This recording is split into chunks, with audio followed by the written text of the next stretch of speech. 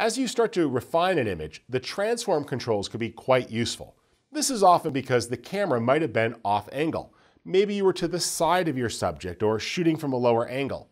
Maybe there's just perspective lines or the camera was not level. There's all sorts of things that can happen when you're out shooting, particularly if you're not using a tripod or if you're in a bit of a hurry. Fortunately, the transform tool makes it easy to fix those. Let's fit this to the window here. And I'm going to start with the transform tool. Now, what I'm looking at is the ability to rotate, and I'm paying attention to my horizon line.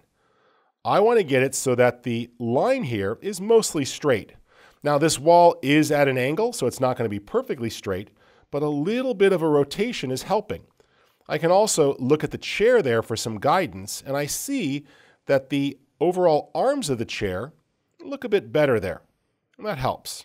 Now, once you've got that, the aspect option is designed to stretch or squash the image. Usually it doesn't need that, but that can come in handy if you start to really tilt the image. So in this case, let me start to tilt this image a little bit to compensate for some of these angle issues.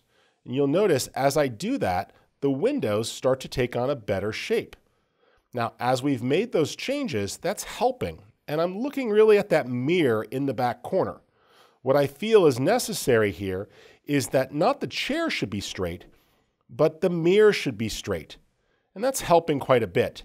That's an object with nice square edges that's facing directly to the subject. And what I'm doing here is adjusting or tilting that to the mirror really feels squared up. And you'll notice how easy this is to compensate. We have lots of different directions and angles here, but this is square to the camera, and it's a nice rectangular shape.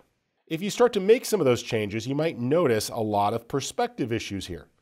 Now, you have to be careful of just how much you start to tilt, and it's okay to have things a little bit off, but that's helping.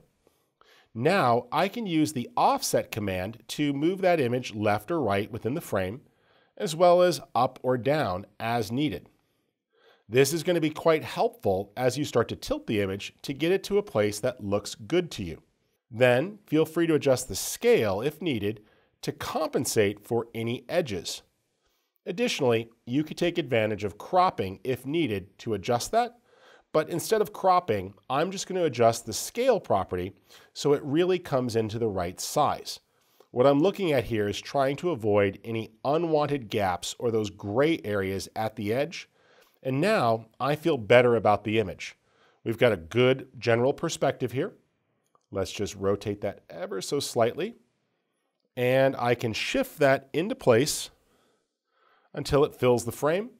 And now things feel a lot more properly angled. Now, depending upon your subject, this can be difficult or easy. When dealing with architectural photos, it's pretty simple. When dealing with landscapes, it's a bit trickier. The transform command, along with revisiting the lens correction tab, can make it easy to compensate for both lens issues and perspective issues. But remember, not every photo is taken perfectly head on and perfectly level. Sometimes those perspective are part of the shot. You might want a dramatic angle or a low angle shot. So don't try to neutralize all of this from your shooting. Just use this to compensate when things seem a little bit off.